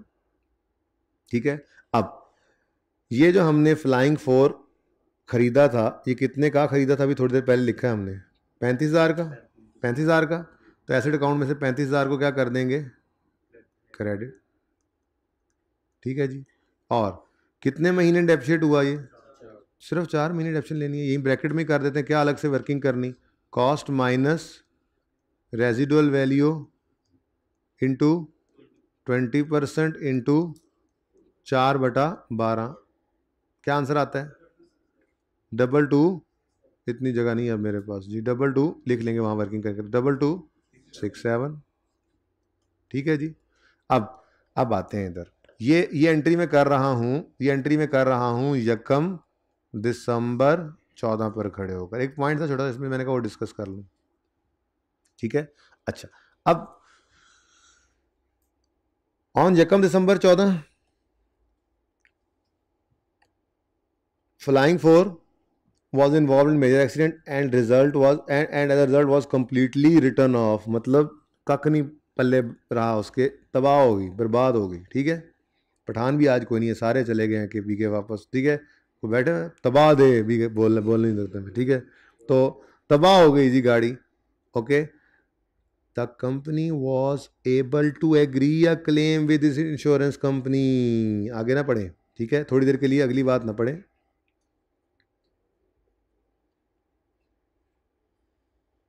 ऐसे ही मैंने थोड़ी देर के लिए लिखा अभी मिटा दूँगा। Company was able to agree a claim with this insurance company of rupees thirty million ठीक है? इंश्योरेंस कंपनी के साथ उन्होंने जाकर रोला डाला उन्होंने कहा रोने लगे उन्होंने कहा वो मर गए बर्बाद हो गए हमें हमें जो है वो आ, हमारा जो एसिड है फ्लाइंग फोर वो बिल्कुल डिस्ट्रॉय हो गया। इंश्योरेंस वाले ने कहा आपको ना हम तीन मिलियन मतलब तीन हज़ार दे देंगे ठीक है? तीन हज़ार दे देंगे। तीन हज़ार, बोलो बोलो, तीन हज़ार। दे दिया है। तीन हज़ार दे देंगे। ठीक है? तीस हज़ार अच्छा तीस हज़ार अच्छा अच्छा तीस टू टू, सिक्स, सेवन वो ऊपर ना कर लें ज़रा। Two two, six, seven. Two two, six, seven अच्छा जी, तीस हज़ार। थर्टी मिलियन है, मैं थ्री मिलियन समझा। जी, थर्टी मिलियन, मैंने कहा हम आपको दे देंगे। डन हो गया जी? ओके? अब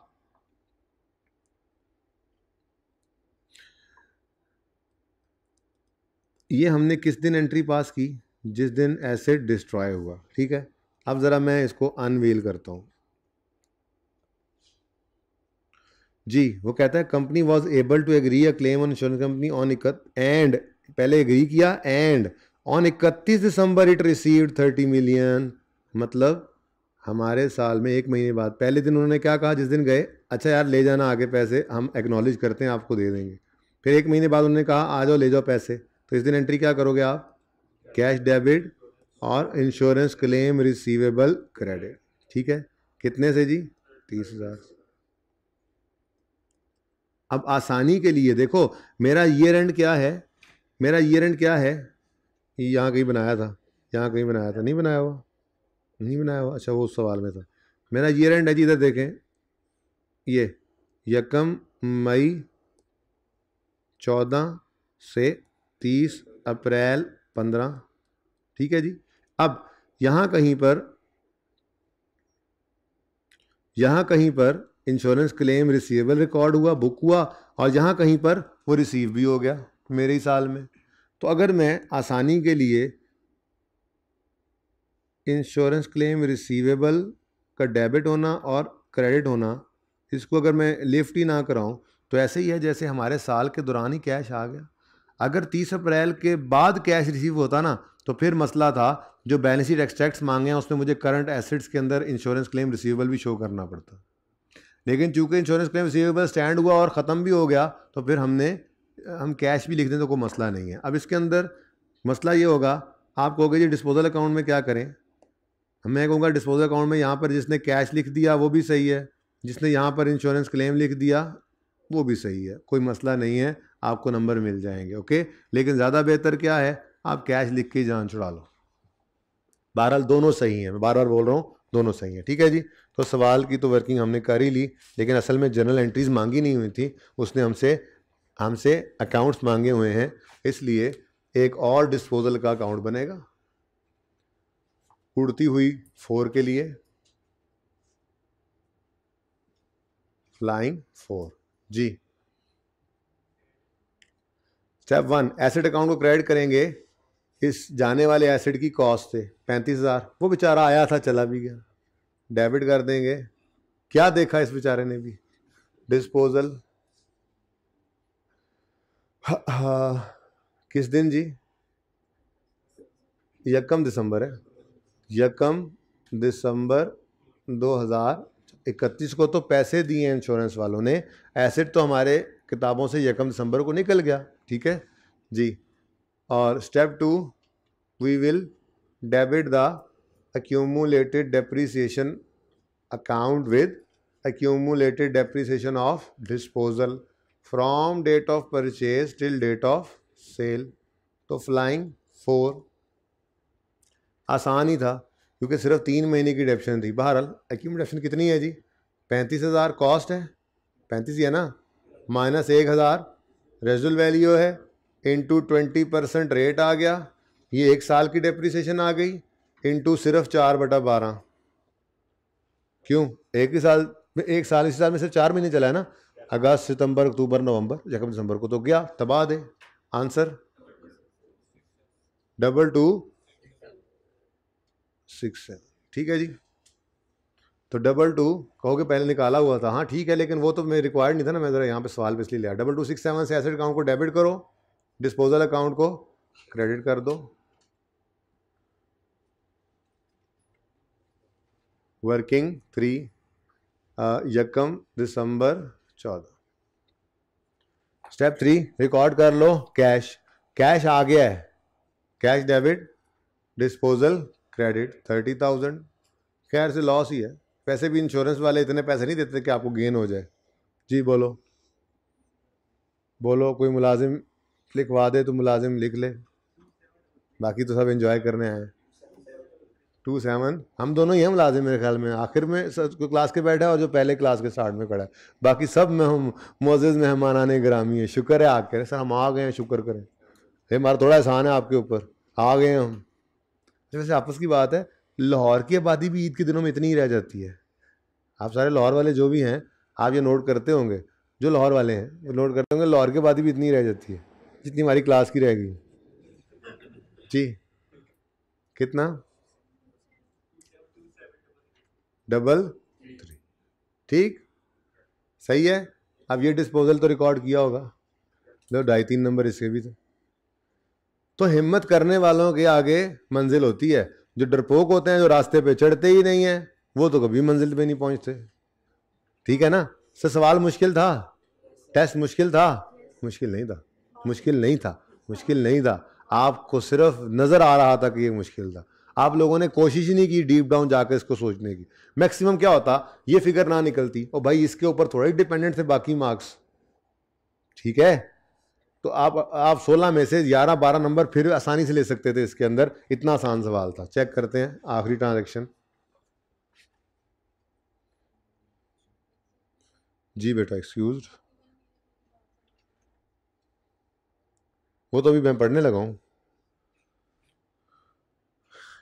पुराना गया एक्सीडेंट हो गया। अब रूट पे गाड़ी तो चलानी है ना, ठीक है? तो हमने उसकी जगह यकम जनवरी पंद्रह को, जब वो पैसे रिसीव हुए ना, यकम जनवरी पंद्रह को होशियार फाइव खरीद खरीद ली फोर्टी वन थाउज़ेंड की। तो ये सिंपल एडिशन है, ठीक है? तो उसकी एंट्री करो, यकम जनवरी पंद्रह है ना? Asset debit, cash credit, forty one thousand. इसमें क्या समझने वाली बात है? होशियार। वैसे इसकी ज़रूरत नहीं है, बिका नहीं है। बहरहाल चलो, होशियार। फाइव सिंपल एडिशन है। मसला है कोई? वो तो वक्त आपकी आँख लग गई होगी बेटा, वो बात तो बहुत दूर गुजर गई। वो मैंने ये कहा था कि इंश्योरेंस क्लेम रिसीवेबल यकम दिसंबर को जिस दिन एसिड तबाह हुआ तो इंश्योरेंस वाले को आपको दे देंगे तीस हज़ार। महीने बाद उन्होंने दे दिया तीस हज़ार। तो मैंने कहा, ये रिसीवेबल बुक करके रिसीवेबल को रिसीव करने की बजाय बस कैश ही लिख लो। एंट्री कर लो, वही एकमेडेशन डेबिट कैश डेबिट और लॉरीज क्रेडिट और balancing figure profit and loss के अंदर ले जाओ। लेकिन मैंने ये एंट्री इसलिए पूरी नहीं की कि एंट्री मांगी नहीं हुई थी। डिस्पोजल अकाउंट बना के उसमें गेन लॉस निकाल लिया ना मैंने। ठीक है? सही है? अब इसी साल के अंदर रिसीवेबल आया बुक हुआ और रिसीव भी हो गया। इसलिए मैंने कहा, आप डिस्पोजल अकाउंट के अंदर चाहे कैश लिखो, चाहे इंश्योरेंस क्लेम रिसीवेबल लिखो, दोनों दोनों ऐसे बच्चों को नंबर मिल जाएँगे, मसला कोई नहीं ठीक है? और बैलेंस शीट के अंदर कोई रिसीवेबल नहीं रिकॉर्ड करना दिखाना आपने, क्योंकि ये एंड हमारा तीस अप्रैल है, उस वक्त कोई रिसीवेबल नहीं है इंश्योरेंस वालों से, ठीक है? तो फोर्टी वन तो उससे बाद की बात थी। तो जागते रहना पुत्र, साढ़े तो न रहना। ई ड्यूरिंग दो ड्यूरिंग मार्च पंद्रह अच्छा आसान सवाल है कि नहीं है? ऐसे नहीं लग रहा कि आज टाइम ज़ाया कर दिया हमने। हाँ टाइम ज़ाया किया आज हमने। लेकिन मैं ये टाइम ज़ाया नहीं समझता हूँ। आप लोगों को भी नहीं लग रहा। चलो, शुक्र है, अच्छी बात है। मैं बेसिकली पहले लेक्चर के अंदर, ये पहले टेस्ट की डिस्कशन के अंदर मार्किंग स्कीम पे बहुत ज़ोर देता हूँ। आपको सिर्फ़ ये समझाने के लिए कि बेटा, पूरा सवाल आपको आता होगा, सही आता होगा। ये ज़रा मुमकिन में से नहीं है। आप सौ सवाल करके जाएँगे, पर्चे में एक सौ आएगा। तो उस एक सौ एकवें की तैयारी आपने ये इस तरीके से करनी है, टेस्ट मुश्किल होगा। पूरा सवाल सही करने की ज़रूरत ही किसको है? मतलब कोशिश तो पूरे को सही करने की करनी है, लेकिन आज से कुछ चार पाँच साल पहले एक मीटिंग के अंदर आई कैप की मीटिंग के अंदर गए तो उन्होंने कहा, बच्चे को ये समझ ही नहीं आती है कि अगर हर सवाल आधा सही कर लें तो हम पास हो जाएँगे। हर सवाल पूरा सही करना ज़रूरी है ही नहीं। हर सवाल में से पासिंग मार्क्स लेते जाओ, सारे सवालों में से फिफ्टी परसेंट से ऊपर मार्क्स है तो टोटल में भी फिफ्टी परसेंट से ऊपर मार्क्स है। ये बात आप लोगों को समझ नहीं आती है। तो पूरा सवाल आपको सही आता होगा।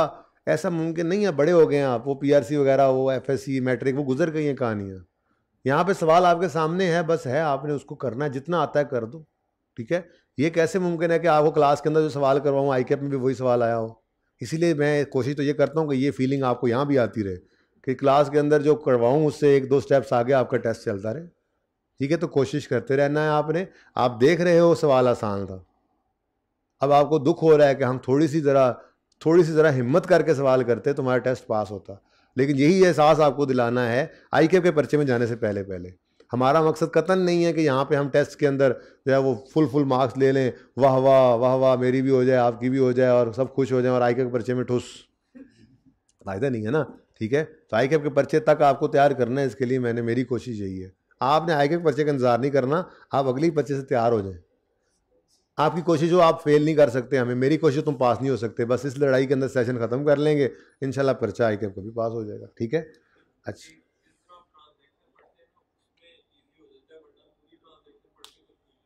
तो यही प्रैक्टिस करानी है ना बेटा? अब मैं कोई जमांदरू तो नहीं सीख के आया था अकाउंटिंग तो भी मैं भी पढ़ते पढ़ते उस्तादों से प्रैक्टिस करते करते फिर यहाँ तक पहुँचा हूँगा ठीक है ना? तो आप भी कोशिश करते रहेंगे इनशाला मंजिल पे पहुँच ही जाएँगे। आप आप पहली बार ज़िंदगी में काउंटिंग पढ़ रहे हैं, बड़ी बात है कि आपको इतना भी आता है।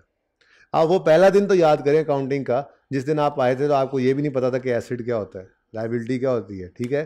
तो अल्लाह की नेमत का शुक्र करेंगे, अल्लाह उसको बढ़ाएँगे। शुक्र करते रहो, अल्लाह ने इतने काबिल भी किया है तो इन उस काबिल भी अल्लाह ही करेंगे कि ट्रांजेक्शन पढ़ोगे, समझ आएगी। लेकिन उसके लिए मेहनत, कोशिश की ज़रूरत है एफर्ट करनी पड़ेगी, ठीक है ना? ओके अच्छा। ड्यूरिंग मार्च पंद्रह C T L decided to exchange the lorry bought on first April चौदह, ये ड्रीम थ्री को एक्सचेंज करने का सोचा है जी, ठीक है? अच्छा लिखा हुआ था sorry register number Dream three with a new lorry it was delivered on first April fifteen March पंद्रह में डिसाइड किया है, और मार्च पंद्रह में रिकॉर्ड कर देंगे। फैसला किया था एक्चुअल में अमली पजामा। जामा नहीं, पजामा। किस दिन पहनाया? एकम अप्रैल तो हमारी ट्रांजैक्शन की डेट क्या है? एकम अप्रैल ठीक है? एकम अप्रैल को हमारा ड्रीम ख्वाब जा रहा है और जज्बाती आ रहा है। फिर एक्सचेंज की ट्रांजैक्शन है। निशानी क्या है? C T L agreed to agreed a purchase price of 26 million for जज्बाती। जज्बाती कितने में तय किया कि आपसे लेंगे हम 26 में।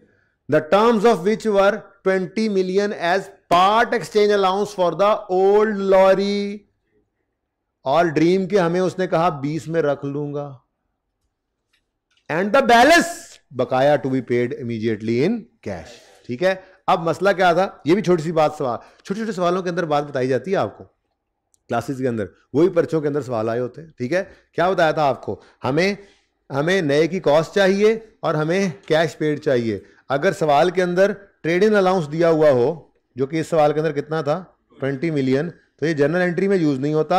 हाँ इसको यूज़ करके हम जो मिसिंग हो, कैश या कॉस्ट में से वो निकाल लेते हैं। कॉस्ट ऑफ़ न्यू तो 26 मिलियन अवेलेबल थी। ठीक है? कॉस्ट ऑफ़ न्यू 26 मिलियन थी, लेकिन कैश पेड अवेलेबल नहीं था सवाल में तो हमने निकाल लेना था। कैसे जी? याद है कुछ? कैश पेड निकालते थे हम, कॉस्ट ऑफ़ न्यू यानी छब्बीस हज़ार। बोलो, माइनस ट्रेडिंग अलाउंस बीस तो कैश कितना पे करोगे? छः हज़ार छः मिलियन। बात समझ आई? ठीक है तो ट्रांजैक्शन ये भी पूरी होती है। चलो, फटाफट कर लेते हैं। Step one we will credit the asset account with first April fourteen पे। कितना, कितनी कॉस्ट है जी? ड्रीम की। इकतीस हज़ार क्रेडिट किया आपने इसको? डेबिट कर दें। डिस्पोजल एक्सचेंज वाला, ठीक है ना? जी, ये एक्सचेंज वाला डिस्पोजल है, बस लिख लें। जी, पैंतीस, इकतीस हज़ार? लारियाँ वाला अकाउंट डिस्पोजल ठीक है?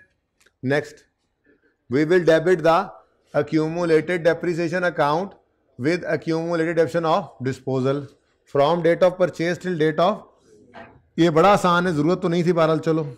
एक साल की जो डेप्शन है सीधी सीधी ठीक है? तो चलो कर लेते हैं। जी, इकतीस हज़ार माइनस एक हज़ार इंटू बीस परसेंट। यकम अप्रैल, चौदह को इसको ख़रीदा था हमने और यकम अप्रैल, पंद्रह को बेच दिया। तो एग्जैक्टली एक साल है। Into one answer is six thousand तो ये डायरेक्ट यहाँ पर भी कर सकते थे बारह छः हज़ार से एक्यूमुलेशन को डेबिट करें और एसेट अकाउंट को क्रेडिट कर दें। ठीक है? और सही है? स्टेप थ्री कैश रिकॉर्ड करें। एक्सचेंज की ट्रांजेक्शन है। ज़रा सब्र के साथ। आने वाले एसेट का आना भी रिकॉर्ड कर लो। 26 मिलियन से एसेट अकाउंट को डेबिट करो तो यानी यानी छब्बीस हज़ार से। जज्बाती। कैश लिख दूँ यहाँ पर? छब्बीस कैश नहीं गया, इसलिए यहाँ पर कैश लिखना गलत होगा ना। छब्बीस तो कैश पे नहीं किया। एडिशन से भी बेहतर, अब तो बड़े हो गए क्या हो गया यार? लिखो डिस्पोजल पता है आपको ट्रांजेक्शन का हिस्सा इसलिए डिस्पोजल लिखा तो क्या हुआ? ठीक है? जज्बाती सिक्स हाँ? ब्रैकेट में। लिखना आपने लिए लिखो। पर्चे के लिए इतना काफ़ी है। ट्रांजेक्शन इतनी हो गई पूरी। ठीक है ना? अपने लिए लिखना तो लिखो। Asset account debit disposal account credit, यहाँ पर भी आपने लॉरीज लिख लिया। न्यू ओल्ड लिखने की ज़रूरत नहीं है। न्यू ओल्ड आपके लिए लिखवाता था। पर्चे में लिखने की ज़रूरत नहीं है। ठीक है? डेट बता दो। First April fifteen step three we will record cash cash पे हुआ है तो कैश क्रेडिट डिस्पोजल डेबिट और इधर देखो, छब्बीस हज़ार माइनस बीस हज़ार। ऐसे निकला है ना कैश यहीं पर शो कर दो, अलग से वर्किंग क्या करनी? और अल्हम्दुलिल्लाह लॉस ही होना है इसमें भी। वैसे ऐसा ज़रूरी नहीं है, लेकिन बस इतफाक़ हुआ इधर भी। जी। बताना पसंद करेंगे? पाँच हज़ार। अब क्या रह गया जी? बस डेप्रीसिएशन एक्सपेंस कैलकुलेट करना है। सवाल ख़त्म है। और डेप्शन एक्सपेंस ऐसे एक मिनट की बात है। आसान ही बड़ा है। ये मिटा रहा हूँ, ये। इसकी कोई ज़रूरत नहीं है आपको। गिन लिए वहाँ पे लिखे हुए हैं आगे। ये ज़रा इंपॉर्टेंट वर्किंग है, ज़रा देखिएगा। One two three four five depreciation expense निकालने लगा हूँ मैं। ऑन ओपनिंग एक्सक्लूडिंग डिस्पोजल होता है ना? वो नहीं लिखते होते टाइम ज़ाया होता है। अच्छा। स्ट्रेट लाइन मेथड है। बोलो। तो ओपनिंग कॉस्ट ऑफ़ ऑल कितनी है जी? सिक्सटी एट थाउज़ेंड ये तीन एसेट्स हैं टोटल में। ड्रीम केड़े केड़े सी? बहादुर, ड्रीम और क्रॉस। ठीक है ना? ये अड़सठ हज़ार opening cost of all assets आ गई। इसमें से माइनस करेंगे ओपनिंग कॉस्ट ऑफ़ डिस्पोजल सोलह हज़ार। ये कौन सा है? बहादुर और पैंतीस हज़ार। पैंतीस हज़ार? नहीं, ये गलती नहीं करनी थी। यहाँ डिस्पोजल को देख के फटाफट आदत पड़ी हुई थी। यहाँ से लिखते थे आप, यहाँ से कॉस्ट लिखते थे। नहीं भाई, नहीं, ये फ्लाइंग है फ्लाइंग ये कौन है? फ्लाइंग फोर ये फ्लाइंग फोर ओपनिंग में पड़ा ही नहीं था। अड़सठ में नहीं था। ये इस साल आया और इस साल निकला, इसलिए ओपनिंग में से इसको माइनस नहीं करना था, ठीक है? अच्छा अब तीन थे, तीन में से दो निकल गए। बाकी कितने बच गए? एक। इस एक की रेजुअल वैल्यू कितनी बनती है? एक हज़ार। ये माइनस करनी थी। ये आ गई cost less residual value into rate ये ज़रा इंपॉर्टेंट बात है, दोबारा सुने। मिसाल के तौर पे, यहाँ पर तीन पड़े थे। एक बिकता, रह कितने जाते? दो। तो फिर यहाँ माइनस क्या करते? दो हज़ार। ये बात समझे हो? कोई भी कोई भी ना बिकता तो तीन पड़े थे तो यहाँ से माइनस क्या करते? तीन हज़ार। एक बिक जाता तो? दो की रह जाती। दो कॉस्ट पड़ी है तो वैल्यू दो की माइनस करते। दो माइनस हो गए, रह कितना गया? एक ही रह गया तो एक की रेजल वैल्यू वन मिलियन ठीक है? कितना आता है? Four thousand? ये समझ आइए बात? ओके यही मुश्किल बात थी। उसके बाद ऑन जी। फ्लाइंग क्यों आए बेटा? फ्लाइंग क्या ओपनिंग में पड़ा है क्या आप ओपनिंग में से निकाल रहे हो उसको? खुदा खौफ करें। जी। सही है। ये इंपॉर्टेंट पॉइंट है पहले ही बताया आपको, ठीक है? क्या? क्रॉस ये निकल रहा है इकतीस हज़ार। है? किसने कहा पड़ा हुआ क्रॉस टू ये बिका है। यकम अप्रैल को यही तो बदला, यही तो बदला हमने एक्सचेंज किया है। चला नहीं गया? तो क्रॉस भी बिका है यार कहीं पे। अच्छा तो वही रह गया होगा यार, मैं बोलने में गलती कर रहा हूँ, लेकिन 16 और 31 तो ठीक है ना? 21 रह गया है, मसला क्या है? मैं जरा ऊपर नीचे कर गया हूँ। ओके दो बिक गए, एक रह गया ठीक है, नाम जो भी है उनका ऑन एडिशन ऑन एडिशन बोलो बोलो बोलो। पैंतीस हज़ार वाला आ गया। ये कौन है? फ्लाइंग ठीक है ना? फ्लाइंग फोर ऐसे ही लिख दिया आपके लिए, जी। पैंतीस हज़ार, ये माइनस थाउज़ेंड वाला बड़ा ज़बरदस्त काम था इस सवाल में, जी। इंटू ट्वेंटी परसेंट इंटू चार बटा बारह, जी। डबल टू सिक्स सेवन उसके बाद फिर फोर्टी वन थाउज़ेंड वो होशियार आ गया माइनस वन थाउज़ेंड जी इंटू ट्वेंटी परसेंट और ये आया है यकम जनवरी पंद्रह को, जनवरी, फरवरी, मार्च, अप्रैल, चार बटा बारह, जी टू सिक्स सिक्स सेवन ना कर लें। नेक्स्ट नेक्स्ट क्या है? जज्बाती आ गया, छब्बीस हज़ार माइनस एक हज़ार इंटू बीस परसेंट इंटू जिस जज्बाती आए यकम अप्रैल को, तीस अप्रैल को ईयर एंड हो गया, एक बटा बारह, फोर वन सेवन। उसके बाद ऑन डिस्पोजल्स डिस्पोजल्स कितने हैं? दो। आप हो गए तीन। मैंने कहा नहीं, ये फ्लाइंग फोर या इधर लो, या इधर लो। ठीक है? अगर यहाँ पर ले लिया है तो फिर यहाँ पर फ्लाइंग फोर की डेप्रिसिएशन मत ले लेना, इस तरह से तो फिर ये आठ महीने डेप्रिशिएट हो जाएगा। ठीक है? इधर क्यों नहीं ले रहे हम इसको? क्योंकि यहाँ पर ले लिया। किसी एक जगह ले सकते हो, दोनों जगह सही है। ओपनिंग में से माइनस क्यों नहीं किया? क्योंकि ओपनिंग में पड़ा नहीं था। दोनों में से किसी एक जगह क्यों माइनस करना है? क्योंकि टोटल चार महीने दोनों में से किसी एक जगह डेप्सिट क्यों करना है? क्योंकि चार महीने से ज़्यादा डेप्सिट हम कर नहीं सकते। दो जगह नहीं करना था, ठीक है? चलो तो रह गया फिर जज्बाती, क्या नाम है पहला? सोलह हज़ार, अपना दोस्त ड्री, क्या था पहला? और ऐसे ही नाम बोल रहा हूँ, मैं ज़रूरत तो कोई नहीं है। जी इंटू ट्वेंटी परसेंट जी इंटू तीन बटा बारह क्यों भाई? यकम मई से शुरू हुआ, मई, जून, जुलाई। तीन बटा बारह, जी। So fifty. नेक्स्ट। नेक्स्ट। इकतीस हज़ार वाला, माइनस एक हज़ार, ठीक है? इंटू बीस परसेंट। इंटू ग्यारह बटा बारह, क्योंकि वो फ़र्स्ट अप्रैल को बिका है, जी। पचपन सौ टोटल। इधर देखो सुन लो अब। ये टोटल आएगा इधर। यहाँ से लेकर यहाँ तक जो टोटल आएगा, इस टोटल को यहाँ लिखोगे? वर्किंग फाइव वाला टोटल लिखोगे। फिर क्या करोगे? क्लोजिंग ये तो कर सकते हो ना? यहाँ पे भी क्लोजिंग निकालोगे। इन दोनों क्लोजिंग्स को बैलेंस शीट के अंदर जाके नेट करके प्रेजेंट करोगे। डेट नंबर इसका भी था। कॉस्ट लिखने का लेस अक्यूमेटेशन लिखने का is equal to book value लिखने का। सोल्यूशन देखो ज़रा। नंबरिंग देखो ज़रा। ऐसे आसान टेस्ट होते हैं। ये देखें ये देखें, ये डेढ़ नंबर पड़ा हुआ है। लॉरीज की कॉस्ट क्लोजिंग क्लोजिंग और क्लोजिंग बुक वैल्यू डेढ़ नंबर। और ठीक है, चल। ठीक है जी फिर, आज के लिए इतना ही। कल इंशाल्लाह फिर डिस्क्लोजर बनाना शुरू करेंगे। ज़िंदगी रही तो आज आपने इसको कंप्लीट कर लेना है। और कोशिश ये करनी है कि आप आज जो है वो रिवेल्यूशन के जितने सवाल किए हुए हैं, उन्हें ज़रा रिवाइज़ कर लें। ठीक है? एटलीस्ट आखिरी लेक्चर वाला सवाल ही कर लें तो सारा कुछ ही रिवाइज हो जाएगा। अच्छी तरीके से रिवीजन करके आइएगा। ज़िंदगी रही तो कल मुलाकात होगी। अल्लाह हाफिज़।